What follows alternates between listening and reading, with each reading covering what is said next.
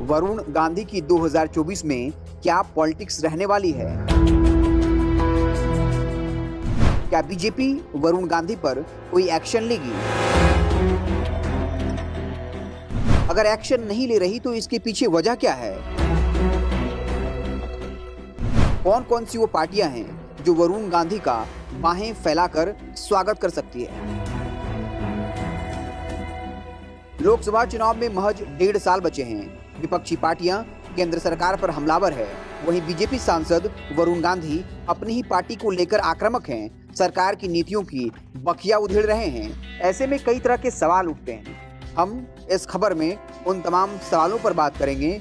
उनके जवाब को खंगालने की कोशिश करेंगे।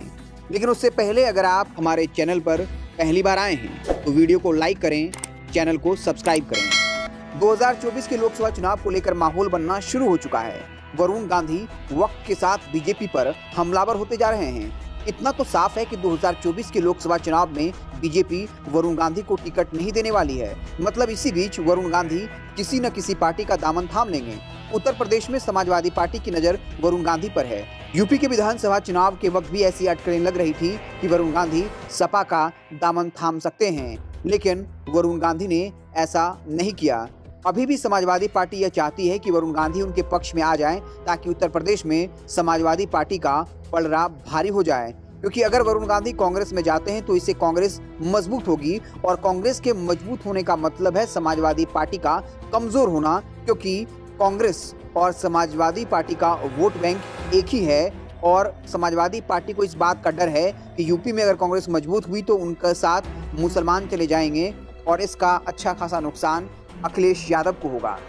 लेकिन वरुण गांधी इस मामले पर चुप्पी साधे हुए हैं। खबर ये है कि वरुण गांधी की प्रियंका गांधी के साथ अच्छी बॉन्डिंग है। दोनों के बीच बातचीत होती रही है लंबे वक्त से, लेकिन अब ये बातचीत राजनीतिक होने लगी है। कई राजनीतिक पंडित इस बात का कयास लगा रहे हैं कि जल्द ही और 2024 के लोकसभा चुनाव से पहले वरुण गांधी कांग्रेस का दामन थाम लेंगे। हालाँकि अंतिम मुहर राहुल गांधी, सोनिया गांधी का ही लगना है। दूसरा सवाल यह है जब वरुण गांधी खुले तौर पर पीएम नरेंद्र मोदी और उत्तर प्रदेश के मुख्यमंत्री योगी आदित्यनाथ पर हमला कर रहे हैं तो बीजेपी फिर कार्रवाई क्यों नहीं कर रही? कहा जा रहा है कि बीजेपी में असुरक्षित और घुटन महसूस कर रहे वरुण गांधी कांग्रेस पार्टी में शामिल होने के इच्छुक हैं। एक सांसद के रूप में अयोग्य होने का डर उन्हें अपने फैसले से रोक रहा है। यानी वरुण गांधी कांग्रेस में शामिल होना चाहते हैं, लेकिन उन्हें इस बात का डर है कि अगर बिना बीजेपी से निष्कासित किए हुए वो कांग्रेस में जाते हैं तो उनकी सांसदी छिन सकती है। इसलिए वरुण गांधी चाहते हैं कि बीजेपी उन पर अनुशासनात्मक कार्रवाई करे ताकि वो फ्री हो जाएँ और कांग्रेस में शामिल हो जाएँ और सांसद भी बने रहें।